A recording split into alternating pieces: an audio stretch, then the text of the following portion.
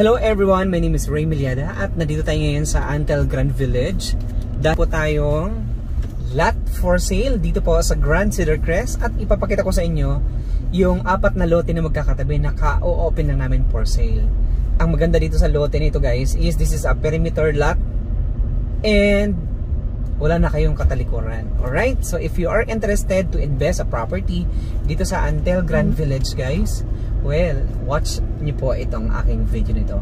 This is a real property, magandang investment for future, for investment. Napakadami mo oh, oh, rights over the property at ipapakita ko sa inyo ngayon.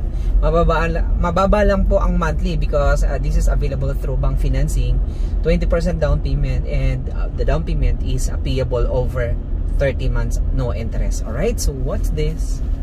This is the main road uh, dito po sa loob ng Grand Cedar Crest. Nakikita niyo po no, very wide at may gutter at ang bawat gilid niyan is a drainage. So this area po is a master plan kaya assuring you na this property po is well master planned and flood free. Alright guys, no, welcome back sa aking channel. Dito tayo ngayon sa Grand Cedar Crest at papakita ko sa inyo ngayon itong available slot na lot for sale dito po sa loob. Thank you. Right, so napakahigpit ng ating guard. Okay, so ito yung pinaka-update ng Grand Cedar Crest. Dito sa Grand Cedar Crest po, may available ditong lot for sale. At alam nyo ba ang maganda dito sa Grand Cedar Crest? Because this is a very close to the clubhouse. And yung 100 square meters is tatlong, apat na magkakatabi po yun, no? Ibig sabihin, apat na title na magkakatabi-tabi po siya. So, pwede nyo pong bilhin yung apat na title. Uh, in case, uh, i-consolidate nyo po yung apat na title, pwede naman po, no? Into one. Pero kayo na po yung mag-consolidate. Pero kung gusto nyo po, yung apat na title is, bilhin nyo lang po yung dalawa, or isa, or tatlo, pwede naman po. Or kung magkakamag-anak kayo pwede kayong magkakatabi. Lalo na dito pa rin sa Grand Antel no? iisa lang kayo ng lugar. And tingnan po natin no? samahan niyo po ako at puntahan po natin itong available slot na which is napakaganda at napakaganda ng pwesto niya. And of course yung mga houses dito lahat po is malalaki. Okay watch this. Okay so these uh park is a common area no para dito sa Grand Cedar Crest. At ang ipapakita ko naman sa inyo ngayon, ito pong available lot dito po na apat na magkakatabi. Well, ang maganda dito, this is a perimeter lot. At papakita ko sa inyo kung gaano siya ka ganda ng kanyang location. Alright, so dito, dito na po tayo sa pinaka-property line. Ito lang po siya guys. Keep on watching! Thank you!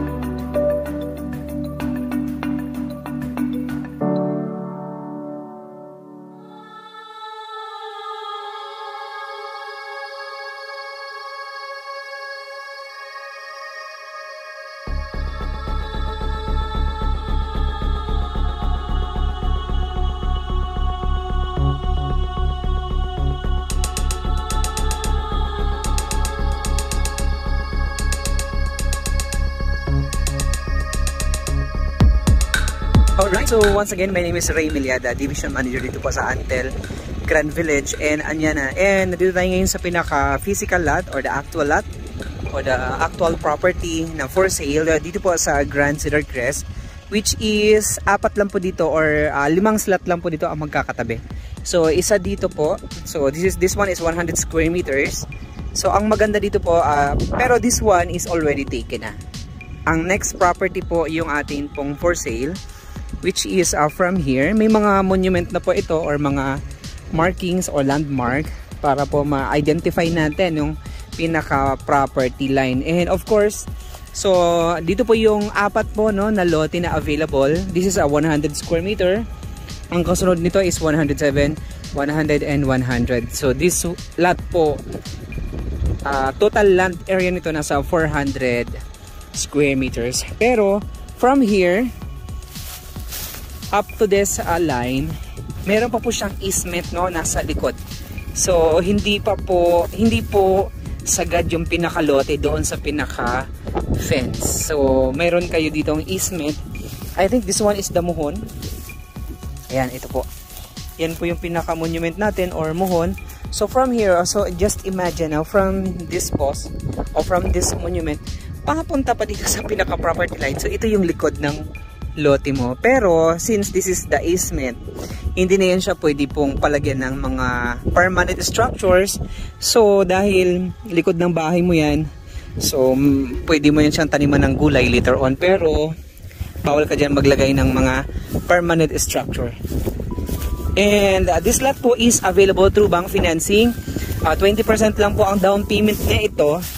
And then the down payment po is payable over 30 months and no interest. And also, pwede nyo pong bayaran yung lote na ito or bilhin ng property na ito ng deferred payment. Okay? So, in case naman sa restriction, no? So, dito po is open sa tayo sa lahat ng engineers, contractors, and architect. Pwede kayo magpagawa ng sarili ninyong design. Nakita nyo yung ibang design. And of course, pwede dito po hanggang third floors. Okay? So if you are interested uh, dito sa property na ito, so this one po is nasa 407 square meters, 4 title. Pwedeng bilhin lang isa o pwedeng bilhin dalawa. Kung magkakapatid kayo, mas maganda isang compound kayo po. Para pero this uh, itong for sale na ito, ito po is uh, apat po na titulo. So 100 square meters, 100, 100 and 100. Okay, so kung nagustuhan niyo po yung ating video dito sa Andal Grand Village, please don't forget to hit like, subscribe at mag-inquire kayo. Isasend ko po dito sa description yung ating pong uh, yung description nitong lote na ito guys. Okay, so thank you so much po and antayin ko po yung inyong message. Thank you and God bless po.